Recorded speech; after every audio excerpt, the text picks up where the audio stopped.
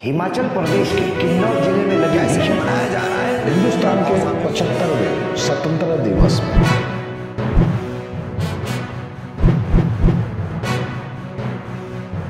आज का महानगर में आपका स्वागत है।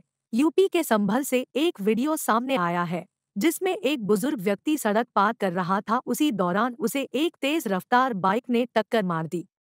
घटना के बाद बुज़ुर्ग व्यक्ति को मुरादाबाद के निजी अस्पताल में भर्ती करवाया गया, जहाँ इलाज के दौरान उसकी मौत हो गई। घटना पास ही में लगे सीसीटीवी कैमरे में कैद हो गई। यह एक्सीडेंट संभल क्षेत्र के अंतर्गत आने वाले आर्य समाज रोड की है। बुज़ुर्ग व्यक्ति इंटरकोर्स कॉलेज से रिटायर कर्मचारी थे।